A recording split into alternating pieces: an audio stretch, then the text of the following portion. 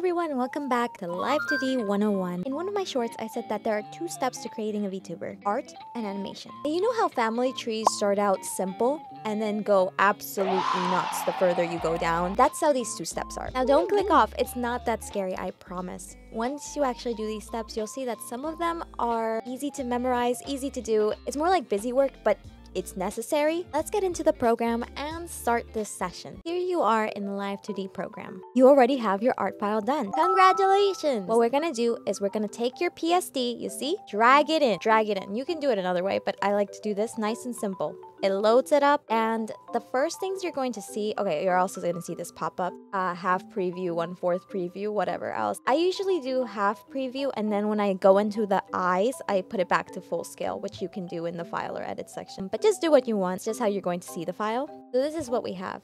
In the corner here, we have your art folder. This corner we have the deformer folder. This is where like warp deformers and rotation deformers are going to be in. Down here we have your parameters. This is where you're going to put points of animation. We're not going to talk about any of that today. All we're going to talk about today is setup because right now, if we are to click file, export for runtime, export as MOC3 file. This is how you export your VTuber model. If we do this right now, what happens? We get this dialog. Oh, see, you heard it yelling at me. You get this box that says invoke after texture atlas is generated.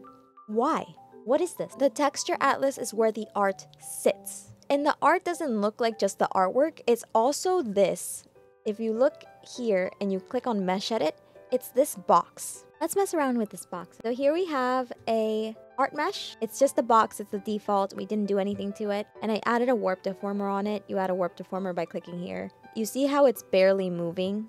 Every side I pick. The only thing that makes it move more is like this side. Well, I don't want that. Let's just put a auto mesh on it for now. Now when I move it, all of it is moving. I can move any point I want. If I want to do this, I can.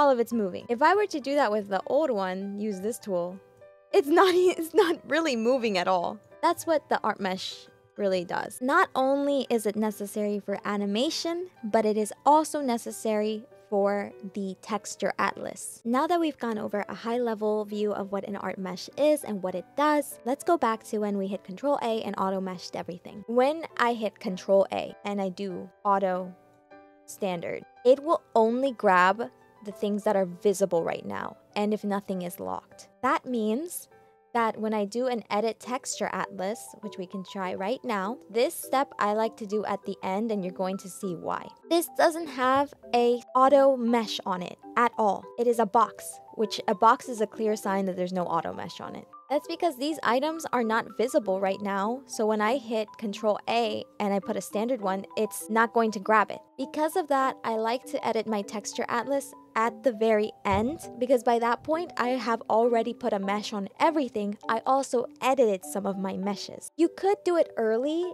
if you wanted to. I don't like to because it just makes things uh, very disorganized, right? So let's say I wanted to do it early. There's a little eye button right next to my shoulder here, you see? Right at the bottom here, the deformer eye button. If I click it off and I turn it back on, it will turn on everything. Crazy. I hate that, but it does work. You can just hit Control A, you can see like this one over here is like a box. Now look at it change. It's a box right now. I do auto, standard again, and now it's not a box anymore. If I were to do texture atlas now, Look at these nice little curves. That looks a lot nicer than before. This is the step to do after you've put an art mesh on everything. By the way, if you like this video, it would mean so much if you like and subscribe. Now that you're here, what do you want to do? Over on this side is all of your art pieces everything that goes into a VTuber. So you want to see this empty. There shouldn't be a single thing in here if it's gonna be used in your VTuber model. One thing I like to do is I like to click on the first one, scroll down to wherever. I'm gonna just scroll to this slime. I'm gonna hit shift and click, highlights all of these. Then I right click and it says place selected objects to a texture atlas. Cool. Now they're all here. So I like to hit Control A and then I do automatic layout. This margin will say how far apart each one is. I keep it at 2. You can do whatever you like. These are the settings I like. This should be at 100%. You do not want to reshape them at all. If you make them smaller or bigger, they will show up like that in your VTuber model export. Hit OK. Nothing worked. now, nothing works because this is a very odd shape. So when it says two pixels apart, it's trying to do it in this shape. It's not considering to put some of these items here. So that'll happen sometimes. You can just take this off and then do all this. Automatic layout. And it looks so much nicer. Oh my gosh. But you saw how that piece messed it up. So I would just say put some thought behind what it's selecting because you're smarter than the machine. You're smarter than the machine, and sometimes it's just not gonna work out, and you can find turnarounds to make it a little easier. You want this all to be filled out. Put as many things as you can on a page. If you cannot fit something, you're gonna have to add another page. The more pages you have, the bigger the pages are. It can make your VTuber model file really heavy or lag. Just keep it in mind that you want to fit as many of these in a page. If you have to have another page though, no harm, no foul. It's better to have more pages that are smaller in like size like this than it is to have one big page that fits everything.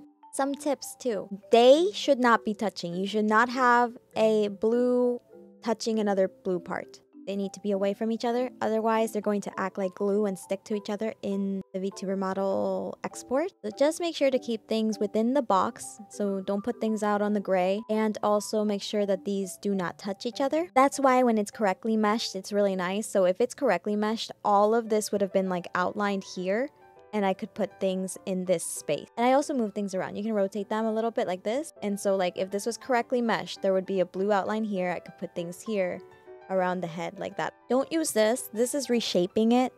Um, you can see here in the scale, it's like telling you how much you're reshaping it. What I like to do is if I do that by accident, I just click back on scale and put 100 and it'll put it back to its original size. You could also just press Ctrl Z. Fill up all of these until all of these are gone and then you're going to hit OK at the bottom. That'll create your texture atlas. Now you should be able to export your beautiful VTuber model.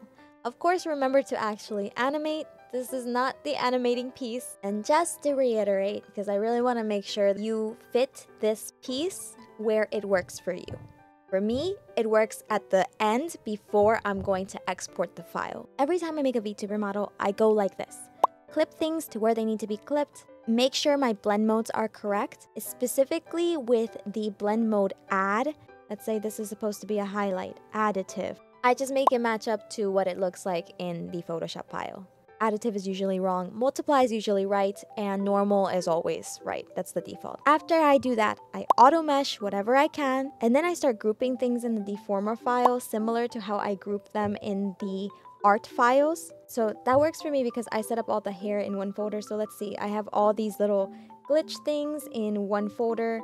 So they're all in a pack together. There's a lot of organization that goes before you even go and animate. After all the deformer files are in a good space, I start to animate them using this section, the parameter section. All the while I am doing this, I'm making sure that everything that I am animating has a mesh on it, whether I'm using auto standard or I go in and edit the mesh myself. After I am satisfied with the animation and I want to export my MOC3 file, I make sure everything has a mesh on it. That's when I do the edit texture atlas step the step we showed today. I cannot export my VTuber model until that step is done. That was a lot, I know, but I am so proud of you. You got through it, and now you learned one more step to get you towards your end goal of creating a VTuber model. I made this video because someone commented this question. So now if you ever get that pop-up, you know what it means. If you have other questions, feel free to comment them below. Feel free to check one of my other videos out. Um, some of them do not just go over Live 2D, but actually go over how you can do things to your model within VTube Studio app itself.